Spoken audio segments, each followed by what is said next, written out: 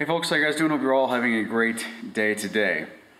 I had a fun day yesterday building a picnic table with my wife and waited till today to record something about it. Now it's pouring down rain. It was such a beautiful day yesterday, but now it is pouring down rain and um, just gloomy.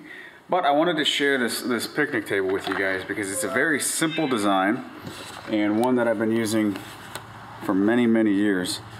So I've probably made I don't know, 30 picnic tables or so, uh, and sold them. And this is the first one I actually made to keep here. So let me walk over here. I had to get the bikes out of the rain. But this picnic table design is pretty darn strong. There's three braces that span the entire bottom side of the top, uh, one on either side, then one in the middle, to kind of keep the top as flat as it can be. And then underneath the seat, there's also another vertical piece for support so the seat doesn't sag. You have nice wide nice wide legs. Those are 2 by 10 legs with bolts that are spaced quite a bit away from one another. So there's a lot of uh, restriction to racking. And like I said, I've made several of these. This particular one is 5 feet in length. Bought 10 foot long boards for the top and the seats and cut them in half. Uh, you can use this exact same design for basically any length table you want. Uh, you know, buy eight foot boards and make an eight foot picnic table. I would typically use these. The vast majority of this design uh, that I've made have been six foot tables. So you buy 12 foot long boards, cut them in half, six foot table. However, I have made uh, two 12 foot tables with really no structural changes. So the 12 footers you do the the side pieces like this and then you add one more side assembly right in the middle. So this is a design that can be stretched as far as you want and it still remains really really strong really really solid. This one is made out of treated lumber. It's going to live on the porch of my shop here. And we're going to let it air out for a couple months to get this uh, treated lumber moisture out of it and then we'll end up doing this this red paint uh, this opaque paint this deck stain or whatever it's called to match the bench and the other outdoor furniture that we have. But it's gonna live out here for you know grilling out on the weekend or whatever. Uh, I wanted to record this build but and I started to record it actually. I got I don't know a, a few cuts in and recorded some stuff with my wife started to put some screws in on camera and it was it was such a beautiful day, and it was one of those things that uh, I just just wanted to have a fun day building with my wife. So I decided to put the camera down and just just have fun building with my wife without recording it. So uh, if you're interested in making one of these tables, I got free diagrams and plans on my website. You can check that out. And I guess I'll just cut this video off here and then walk you through how to build it with some SketchUp diagrams. It's an inexpensive project. This particular one was, um, like I said, it's, it's five feet in length and I believe it was $78 in lumber, uh, which I went to a, a, local place here, which was not the cheapest place in the world to get it from. Uh, and I already had the screws and glue. Oh, one of the things, that, the glue, let me talk about that. So uh, on all of these that I've made previously, I used um, Titebond 3, but in this case you can see some smeared right there, which isn't that big of a deal. Uh, we're going to paint this like I said, but I used that um, PL Premium construction adhesive and it did a really good job of holding the stuff together. This, this batch of lumber that I got was really, really cupped all of these boards were cupped a tremendous amount, so I had to flatten them down with clamps uh, as I screwed this together, and we got a bunch of cracks, but that's okay. It's a picnic table. It's built like a tank. This thing will last, it'll last forever if I keep it under this awning too. Uh, but anyway, just a quick little um, encouragement to make one of these. They're inexpensive and they'll last forever. So you guys take care, have a great day, and the rest of this video will be a SketchUp instruction of how to build it. As I said, I've made many of these picnic tables uh, in various different lengths from this exact same design in the past.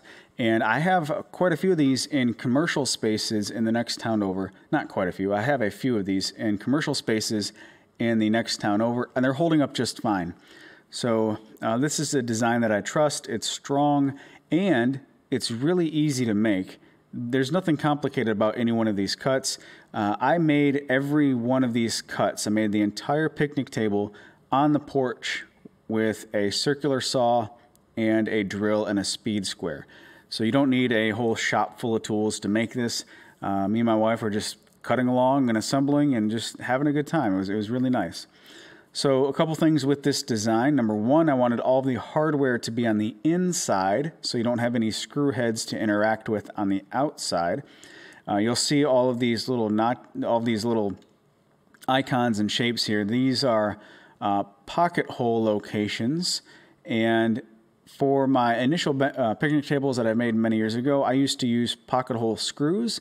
For this one, I just didn't think it was really necessary to be honest with you, so I used just regular coated decking screws for exterior use, and I just drove them in on an angle similar to a pocket hole screw. So I just made pocket hole screws without pocket holes, basically.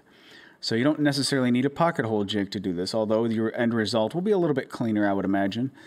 Um, what else about this design? So these legs are 2 by 10s There's a lot of surface area here to create a nice solid connection between the leg and then this horizontal stretcher right here, the seat support.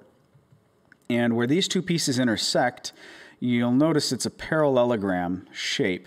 And a parallelogram has a short diagonal and it has a long diagonal. So not represented in this model is Uh, a couple carriage bolts along the long diagonal. Before doing the carriage bolts, it's best to secure it with screws just for convenience sake. So on the inside during assembly, when I add this piece right here, I add two screws along the short diagonal, which will allow these two pieces to be pinned together temporarily so that I can add two carriage bolts along the long diagonal. And that just creates a nice, strong, sturdy connection uh, that will resist racking and movement long term, which is really nice. This bench will stay stationary and stay strong and not wiggle and wobble back and forth.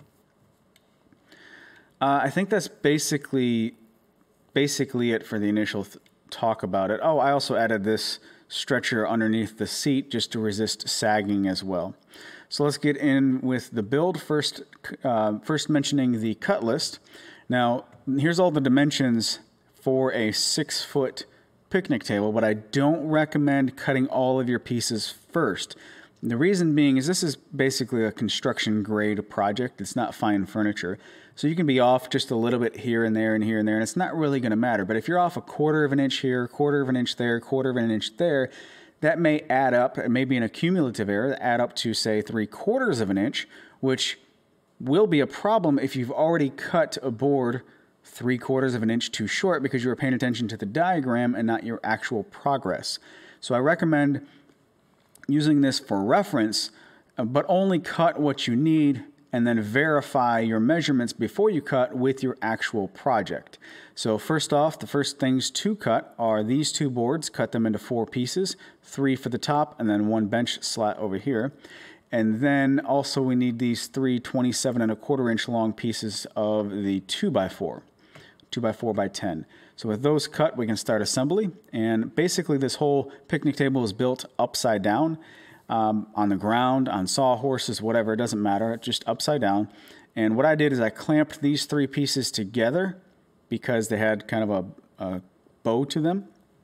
You want to smash the seams because this is it's treated lumber, so it's going to dry out a little bit, and, and any type of cracks or seams that you have are just going to get larger long term.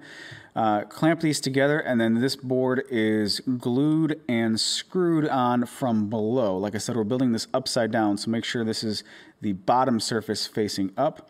Glue and screw this in place with a clamp in place. Bring the clamp over here, do the same thing, glue this, glue and screw here, and then one in the middle. Now, typically with furniture projects, you don't want to glue down a large joint like this where the boards are perpendicular to one another because of expansion and contraction. However, this is pine. Pine is forgiving. It's treated lumber. This is not fine furniture. No matter what you do anyway, this wood is eventually going to have some cracks developed. So it's not that big of a deal at all. I'm going for pinning everything for structural stability rather than worrying about uh, some fine woodworking details, really. After those are all installed, we can add the legs. And in this case, we're just trying to get really close to the measurements. Don't, don't freak out about getting precise. And what I mean is there's a slight gap here in my model between the legs, right? Uh, I didn't worry about that at all. I just found the center point on this panel, made a little tick mark with a pencil, and then I put my uh, leg points together right there. So I was really close to this outside measurement, but I didn't sweat it trying to get it perfect. 56 and 3 eighths of an inch. Just get it close. That's all that matters. The, the, the, one of the ways that you can introduce error here is with cutting all this stuff by hand. So I drew a line at 30 degrees. All these cuts are 30 degrees. And then I freehand it with a circular saw. I may be off by one, two degrees or so. That's not the, that's not the end of the world. So don't stress trying to get these exact measurements. What is important in this case, when we're clamping or securing all these legs, is the distance from the bottom of the leg to the top of the top should be somewhat the same. So who cares what this measurement is so long as all four of these are close to that measurement. And the reason why this can vary slightly is because, just like I said, you're cutting this all by hand with a circular saw. And if you're off by just a degree or so, then this is going to be up or down just slightly, and it may affect some stuff. So it's okay if this is not 100% touching the bottom of the tabletop. I'm exaggerating it here just to show you. Uh, it's okay if it's off by just a smidgen. Just trying to get this measurement from this point to here pretty darn close all the way around. So one way to do this by yourself, and I was showing my wife, is to use clamps from this leg to this piece over here. So clamp this in place on this inside right here on all four of these, and then you can walk around it and just kind of bump it and tweak it, make sure everything's good. Uh, I also added glue in between the leg and these brace these bracing pieces. Um, and once everything looked good, I just drove a bunch of screws, I think four, maybe five, from the leg into the piece next to it. Once the legs were pinned in place, the next step is to add this interior piece. Now, I used pocket hole screws according to this original design. Uh, like I said, on the picnic table in the beginning of this video, I did not add pocket hole screws. I just put a lot of construction adhesive uh, in between all of these pieces and added a bunch of screws from this board into the legs as well as this board into the bottom of the tabletop. Basically, you're just having a large surface area for glue to, to kind of clamp and hold everything together. The glue is going to do a lot as far as grabbing everything together. After both of these are installed, the other, the, the seat horizontal pieces, the seat supports, those can be added. Now the easiest way to get these to line up is to cut some scrap blocks at this particular distance, 14 and 3 eighths of an inch from the top surface of the tabletop to the top surface of the seat support.